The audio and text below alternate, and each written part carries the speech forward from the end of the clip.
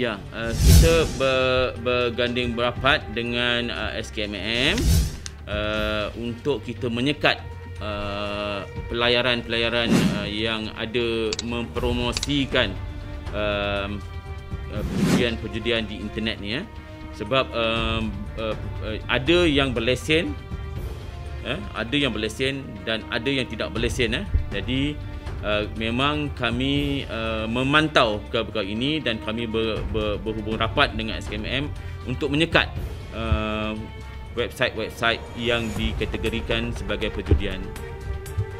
I think I think uh, I think uh, the the center is um, you know is from overseas but dia orang macam nomad eh. Uh, dia orang bergerak daripada satu tempat ke satu tempat eh. Dan uh, kita ini yang kita nak uh, tuan-tuan menulis dalam uh, media untuk membolehkan um, any person eh, atau masyarakat to inform us uh, to give us the information the location of the center yang diorang bergerak dari satu tempat satu tempat eh. Uh, dulu kita kita tengok the, the center is uh, concentrate on the uh, the uh, the victim from overseas.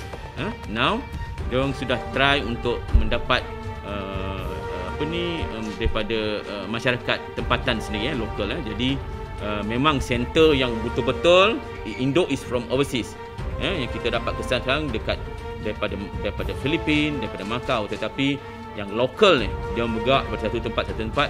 That's why we need the all the info eh uh, untuk kita tengok eh. Jadi uh, yang bagus dia punya indikator dia eh.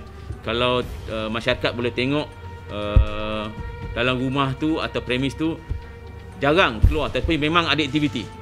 Eh, memang ada aktiviti keluar sesekali untuk beli makanan lah. Itu boleh pihak masyarakat uh, menyalurkan maklumat sekurang-kurangnya pihak polis boleh pergi untuk membuat pemeriksaan.